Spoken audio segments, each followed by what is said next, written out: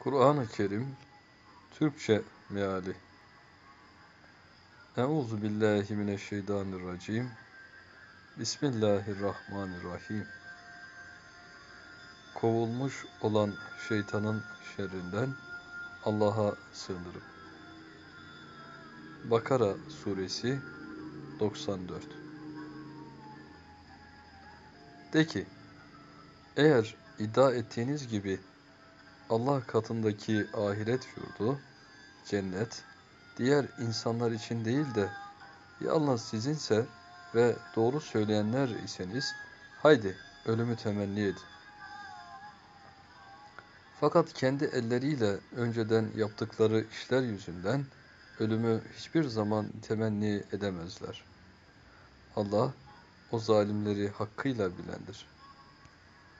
Andolsun sen onların yaşamaya bütün insanlardan, hatta Allah'a ortak koşanlardan bile daha düşkün olduklarını görürsün. Onların her biri bin yıl yaşamak ister. Halbuki uzun yaşamak onları azaptan kurtaracak değildir. Allah onların bütün işlediklerini görür. De ki, her kim Cebrail'e düşman ise bilsin ki o Allah'ın izniyle Kur'an'ı önceki kitapları doğrulayıcı, müminler için de bir hidayet rehberi ve müjde verici olarak senin kalbine indirmiştir. Her kim Allah'a, meleklerine, peygamberlerine, Cebrail'e ve Mikail'e düşman olursa bilsin ki Allah da inkar edenlerin düşmanıdır. Andolsun biz sana apaçık ayetler indirdik. Bunları ancak fasıklar inkar eder. Onlar ne zaman bir antlaşma yaptılarsa içlerinden bir takımı o antlaşmayı bozmadı mı?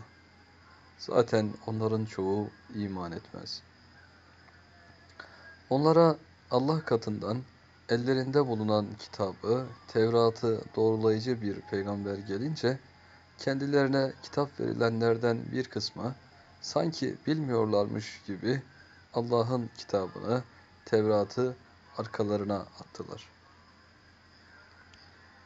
Açıklama Tefsir kaynaklarının ifadesine göre Fedek Yahudileri Hazreti Peygamber'e bazı sorular yöneltmişler ve cevaplayabildiği takdirde kendisine iman edeceklerini söylemişlerdi.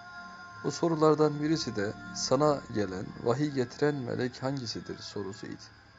Hazreti Peygamber Cebrail cevabını verince Yahudiler o bizim düşmanımızdır. Çünkü o savaş ve şiddet meleğidir. Eğer sana vahiy getiren melek rahmet, bolluk ve yağmur meleği olan Mikail olsaydı sana iman ederdik cevabını vermişlerdi. Ayet bu olay üzerine inmiştir. Konu ile ilgili benzer başka rivayetler de vardır. Süleyman'ın hükümranlığı hakkında şeytanların ve şeytan tinetli insanların uydurdukları yalanların ardına düştüler. Oysa Süleyman büyü yaparak küfre girmedi. Fakat şeytanlar insanlara sihri ve özellikle de Babil'deki Harut ve Marut adlı iki meleğe ilham edilen sihri öğretmek suretiyle küfre girdiler. Halbuki o iki melek biz ancak imtihan için gönderilmiş birer meleğiz. Sihri caiz görüp de sakın küfre girme demedikçe kimseye sihir öğretmiyorlardı. Böylece insanlar onlardan kişi ile karısını birbirinden ayıracakları sihri öğreniyorlardı. Halbuki onlar Allah'ın izni olmadıkça o sihirle hiç kimseye zarar veremezlerdi. Onlar böyle yaparak kendilerine zarar veren, fayda getirmeyen işleri öğreniyorlardı. Andolsun onu satın alanın ahirette bir nasibi olmadıklarını biliyorlardı. Kendilerini karşılığında sattıkları şey ne kötüdür. Keşke bilselerdi. Eğer onlar iman edip Allah'ın emirlerine karşı gelmekten sakınmış olsalardı, Allah katında kazanacakları sevap kendileri için daha hayırlı olacaktı. Keşke bilselerdi. Ey iman edenler! Râina, bizi gözet, demeyin. Unzurna, bize bak deyin ve dinleyin. Kafirler için acıklı bir azap vardır. Açıklama Sahabiler Hazreti Peygamber'in nasihatlerinden daha çok yararlanmak için ona Ra'ina, bizi gözet diyorlardı. Yahudiler bu ifadeyi İbranice'de hakaret ifade eden bir anlamda kullanıyorlardı. Bir başka yoruma ise Ra'ina kelimesini Arapçada çobanımız anlamına gelecek şekilde Ra'ina diye okuyorlardı. O sebeple ayet müminlerden Ra'ina yerine bize de bak, bizi de gözet anlamındaki unzurna ifadesini kullanmalarını istemiştir.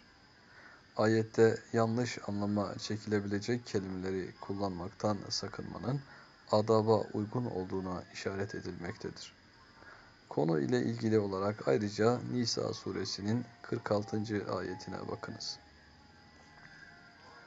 Ayet Ne kitap ehlinden inkar edenler ve ne de Allah'a ortak koşanlar Rabbinizden size bir iyilik gelmesini isterler. Oysa Allah rahmetini dilediğine taksis eder. Allah büyük lütuf sahiptir. Sadakallahül azim. Şüphesiz Allah doğru söylemiştir.